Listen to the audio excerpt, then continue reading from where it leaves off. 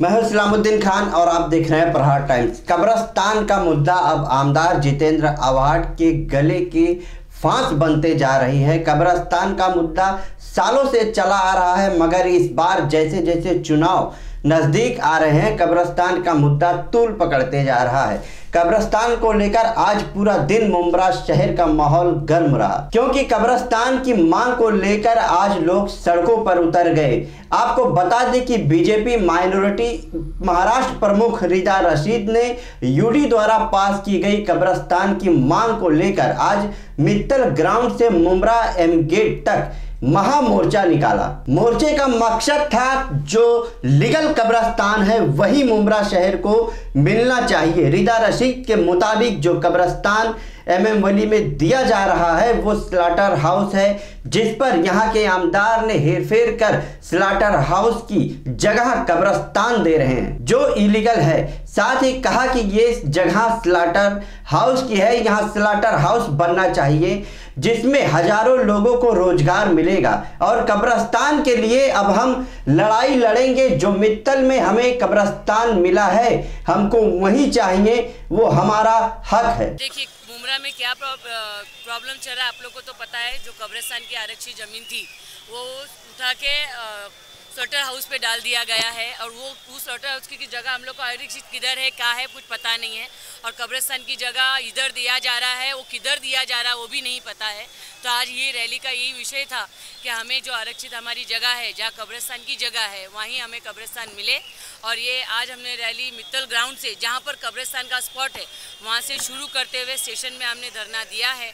अभी यहाँ पर बस धरना देंगे और जब तक मांगे पूरी नहीं होती हमारी जब तक हम नहीं उठेंगे। हमने कब्रिस्तान को लेते हुए रंजित पाटिल साहब के पास भी हमने, हमारे जो मंत्री है यूडी के, उनके पास भी हियरिंग लगाई थी, उनके पास भी हमारी हियरिंग का दूसरा डेट भी आ रहा है। इनशाला इस पर हमारा पूरा काम चल रहा है। सरकार अपनी काम कर ही रही है। जो सरकार है, वो तो वहाँ काम चल ही रहा है, लेकिन यहाँ पर जो गफले चल रहे हैं, जो जलबाती हो रही है देने के लिए तो ये भी अवान से हम इसीलिए रैली निकाले कि अवान से बताया जाए, जो दिया जा रहा है वो कब्रिस्तान की जगह नहीं है, वो दंदल की ज़मीन है।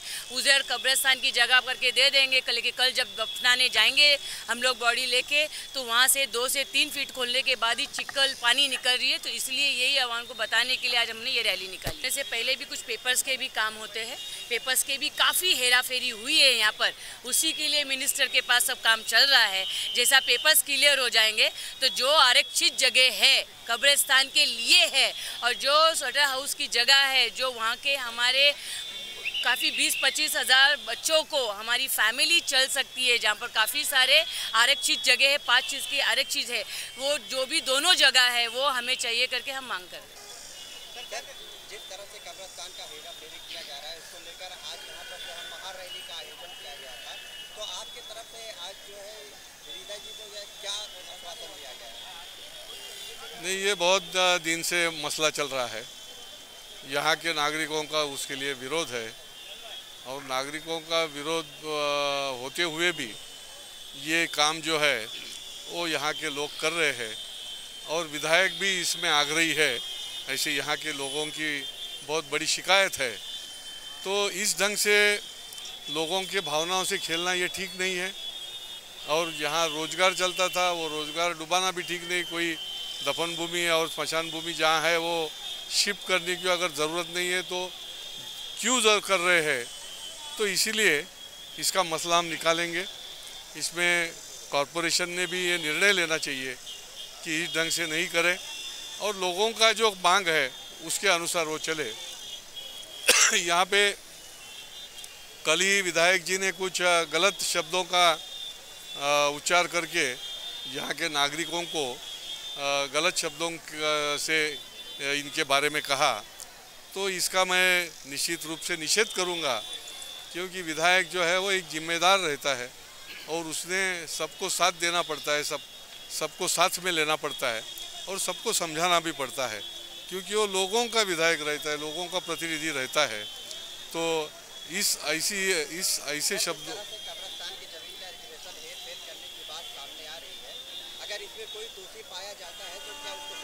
इसमें इसका हम भांडाफोड़ करेंगे। ये हेरा फेरी अगर है तो इसकी चौकसी करेंगे और गलत काम करने वालों को निश्चित रूप से इसके ऊपर शासन के माध्यम से कार्रवाई करेंगे।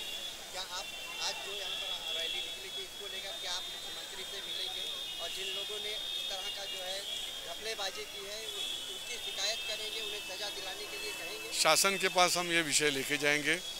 शासन उसकी जाँच करेगी।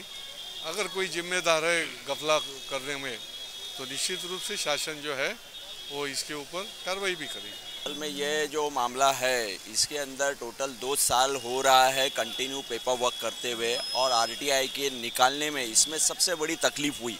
और आरटीआई का मुख्तसर में मैं समझा दूँ कि आरटीआई के कानून में 30 दिन में जवाब देना पड़ता है। 30 दिन में, ये कानून है उसका।